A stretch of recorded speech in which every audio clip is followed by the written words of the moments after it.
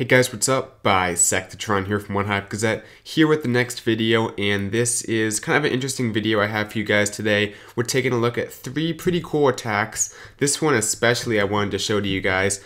P.E.K.K.A.s at Town Hall 10, four of them, getting the job done here. The base is a little bit unusual, which I think allows for it. You can see the Infernos are very offset down towards the bottom right side of the base, so that kind of allows for this to work, but um, kind of the theme of this video is just creativity with your attacks at Town Hall 9 and Town Hall 10 have both Town Halls present in this video. So let's go ahead and get this thing going. Um, just so you guys know, I, I, you know, I'm trying to do a base build video for Town Hall 9. I think that's something that I've been talking about doing for a while, and I want to see if I can, you know, make a base that is solid against the current meta, which is a lot right now, you know, loons, all that good stuff. So I, I'm going to do my best to get that out soon. Um, I know I've been saying that for a while, but hopefully that'll become true soon. Uh, but back to this attack here, you can see the healers work out very well because the Infernos are so far away. The P.E.K.K.A.s will get that benefit of the heal for a while, plus the Rage right there, as soon as the healers step up into it, um, gets double value both on his initial troops, then the healers as they step up into it, has some bowlers, the funnel's good, his heroes moving through. Um, I don't even think he drops a jump, just lets them go right through that wall. So trusts the, you know, the pathing, works out very nicely. He doesn't need the jump, so can invest in more rages and stuff. Um, his troops stepping up right here. I think he's lost two of the three healers, but even the one healer does a good job um, keeping his troops up. Right here, they encounter the Infernos, so the heal effect is going to be gone for the most part. But here, um, he can kind of, you know, use those hit points all the troops have to really stay up for a while. Pops the King's ability. The Queen goes down. Did he miss her ability? I didn't catch it. He might have used it. I'm not sure. Hogs coming in from the side just to take out these defenses. These little nooks of the base that the uh, rest of the troops can't quite reach. Has that freeze still left over. I guess he was saving that for whatever Inferno wasn't going to go down. So, um, you know, maybe wasn't exactly planned, but knew it would be good to have it at some point. and does a great job freezing the cannon and the Inferno there. The P.E.K.K.A.s, like I said, they have some, you know a good amount of HP. They're able to stay up. The walls do make it tough. These are very high level walls. This is a very high level base, almost maxed out for Town Hall 10. Had the level 3 Infernos. A few balloons right there was nice. Um, but this is a tough base, and he gets the job done. So not not an easy base by any standards, and has a ton of troops left up. The Hogs, the P.E.K.K.A., the King, um, Bowler, some Wizards, the Balloons, and even that Baby Dragon. So a lot left over. Awesome attack. Wanted to show that because it's something that's very different at Town Hall 10. And with these, you know, new ways to defend air, I think that's opening doors for new strategies, and uh, that's evident in that attack as well as some others. Um, next one, not a, a huge. Well, actually, never mind. This is the dragon one. I have a dragon one, then I like another uh, P.E.K.K.A. Town Hall 9 attack. So we'll take a look at the dragon one first. Um, and like I said, creativity. Um, we're seeing people, because both at Town Hall 9 and Town Hall 10, the meta, you know, what's working well is La Laloon, the Lava Hound balloon combination. So we're seeing all kinds of ways that base builders are changing their designs to defend against it, like we saw in the last last attack. Um, and here at Town Hall 9 still, we're seeing people put their air defenses offset and try to keep their queen, you know, in a weird place. All these different strategies to defend it opens up other stuff. So we have train heavy, train something, uh, coming at this base with the queen walk at the top, getting the first air defense. He'll come around for the second one as well. There's the king, uh, just drops him down. I think the king will get in there, just create the funnel for the most part. I don't think he'll get the queen taken out. Uh, right there, the CC lure, they come out, the, his, his queen will take care of them.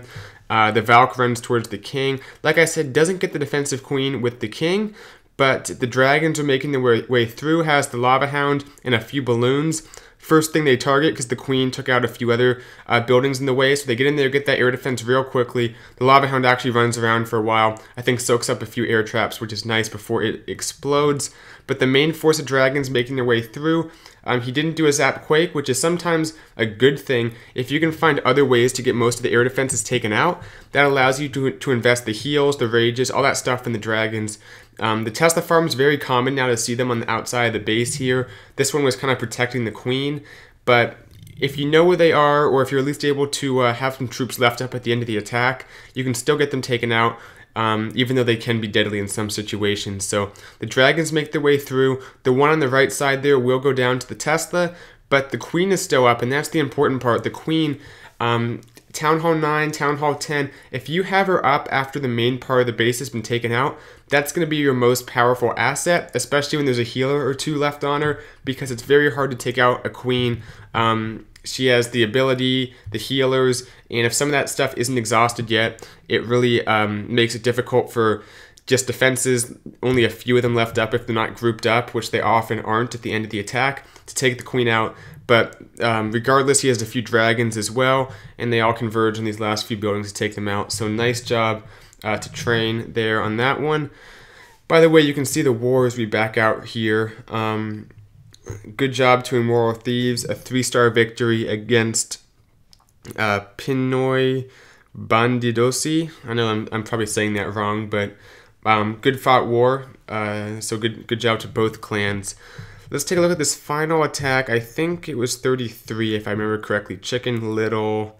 Yeah, not a huge variation, but uses the P.E.K.K.A, which I think is worth pointing out because it's his own P.E.K.K.A. He's bringing the bowlers, and I think on most attacks, bowlers are what you want to bring at Town Hall 9, unless you're doing an attack that's not very kill squad based or, you know, something like that where you're not really entering the base with the big kill squad. It's mainly like a Laloon, a Penta, or something like that. You want to bring the bowlers. They are tremendous value at Town Hall 9. They're way more powerful, I'd say, than like Max Valks or even the Max P.E.K.K.A. The bowlers are just, very, they're Town Hall 11 troops uh, that you can bring at Town Hall 9, which is something you want to take advantage of. So he brings the bowlers in the CC and brings his own P.E.K.K.A, but I think the P.E.K.K.A has value because it just adds that it adds the extra damage, but it also adds the HP. The golems, of course, are going to be tanking, but sometimes it helps to have your HP also do quite a bit of damage. That way, um, if there's a giant bomb combination, like two go off at once, there's no risk of losing all your damage um, in like one catastrophe. Uh, the king is similar. He can, you know, work well as well. But the P.E.K.K.A just adds a little more insurance that you have some reliable DPS. The bowlers are pretty reliable, but they are subject to getting targeted, getting taken out. So sometimes the P.E.K.K.A is a good investment, especially at Town Hall 9 when it's a little bit easier to 3-star at this current state in the game. Um, sometimes settling for the P.E.K.K.A can just ensure you get that 3-star. There's not going to be as much risk involved. Um, Still not a huge, hugely popular troop, but I think it's underrated at Town Hall 9, and maybe even Town Hall 10 after that last attack we saw, although it seems pretty base specific at Town Hall 10, at least for the most part and for the time being. So nice attack with Chicken Little. That Lava Hound will explode, and the pups will be a little bit of a nuisance, but at this point, pretty much all the buildings are down, so it doesn't matter anyway. Actually, will the Lava Hound explode? Yeah, right there. Um, the pups get to watch the base get 3-starred. They actually don't even die because the all the buildings are gone, so nice stuff there. Hope you guys liked the video. Uh, three attacks, three very interesting attacks, I think, and uh, something for you Town Hall 9s and Town Hall 10s to make note of because the meta is always subject to change. And as bases develop, it's worth you know thinking about creative ways to take out the base because um, they allow for certain things when they're defending against a, a very powerful meta. Uh, not to say Laloon isn't still something you should go with, because it definitely is, but these opportunities are sometimes there to uh, to add a little bit more uh, something creative to your attacks. Makes it more fun as well, but um, priorities are three stars, I guess. So thank you guys for watching, and I'll see you guys in the next video. Bisectatron out.